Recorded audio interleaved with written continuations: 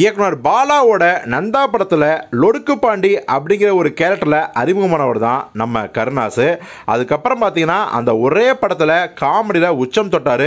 நிறைய படங்களில் அந்த வருஷத்தில் நடித்தார் அதுக்கப்புறம் பார்த்தீங்கன்னா உலகநாயகன் கமலஹாசனுடைய வசூல் ராஜா எம்பிபிஎஸ் படத்தில் நடிச்சிருக்காரு.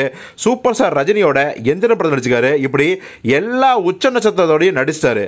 ஆனால் அவருக்கும் ஹீரோ ஆகணும்னு ஆசை வந்து ஆரம்பித்த ஒரு படம் தான் திண்டுக்கல் சாரதி. இந்த படத்தில் பார்த்தீங்கன்னா அழகான இருக்கும் தன் மனைவியை அழகே இல்லாத கணவன் எப்படியெல்லாம் சந்தேகப்படுறான்? அப்படிங்கிற மாதிரியான ஒரு காமெடி கலந்த கதையம்சம் இந்த படத்தில் ஹீரோயினாக வந்து பார்த்தீங்கன்னா கார்த்திகா அப்படிங்கிற ஒரு நடிகை நடிச்சிருந்தாங்க. ஆனால் முதல்ல அந்த படத்தின் தயாரிப்பங்கனி இந்த படத்தில் ஹீரோயின் நடிக்கிறதுக்கு சிம்ரனை அப்ரோச் பண்ணலாம் அப்படின்னு முடிவு பண்ணப்போ உடனடியாக வேண்டாம்னு மறுத்து விட்டாராம் நடிகர் கருணாஸ். அது ஏன்னு இப்போ வரைக்கும் தெரியாமல் இருந்துச்சு. ஆனால் அதற்கான விளக்கத்தை நடிகர் கருணாஸ் இப்போ சொல்லியிருக்காரு.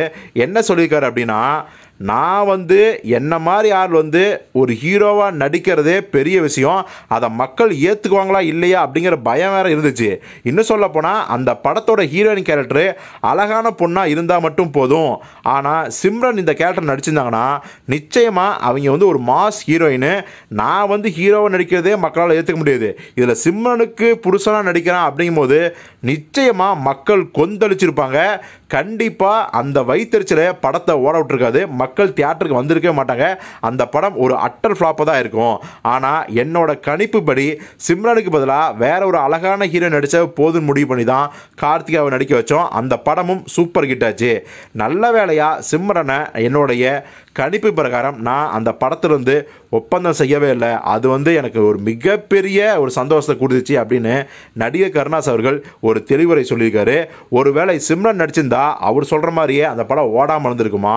இல்லை இப்போ ஓடி இருக்கிறத விட அந்த திண்டுக்கல் சாரதி படம் மிகப்பெரிய அளவில் இன்னும் ஹிட் ஆயிருக்குமா அப்படிங்கிறத கமெண்ட் பாக்ஸ் தருவீங்க. உங்கள் ஃப்ரெண்டுகளுக்கு ஷேர் பண்ணுங்கள் இது போன்ற சுவையான தமிழ் சினிமா செய்திகளுக்கு மீடியா தர்பார் சேனலை சப்ஸ்கிரைப் பண்ணுங்கள் நன்றி வணக்கம்.